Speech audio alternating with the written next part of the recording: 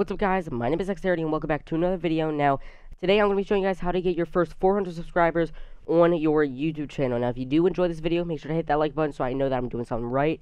And subscribe to the channel if you enjoy my content and if this video actually helps you get subscribers of your own. Now, the the footage that you see in the background is me doing these two tips I'm about to show you of something that I do on a daily basis. I was having problems with my mic when matching it up with the record or with the footage.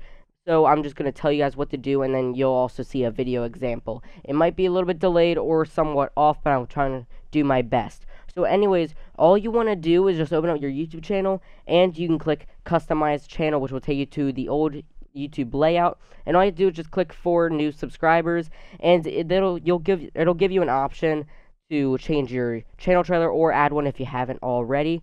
And all you want to do is just go to Morning Fame. If you don't have that an account on there, then you need an invite code. So all you have to do is just go to Google and search up fame, or like Morning Fame invite code. And there's a lot of people giving away free invite codes, which will give you a free month on that website. And that'll show you your top videos and everything. And you can filter it to what videos gave you the most subscribers.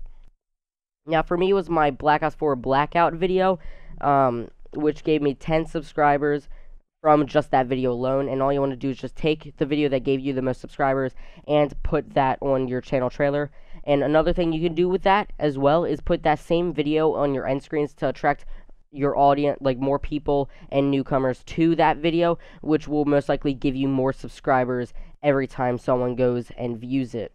So that's about it. Thank you guys so much for watching this video. If you guys did enjoy, hit that like button. I would really appreciate it. Like and subscribe for more videos, and I'll see you guys later. See ya.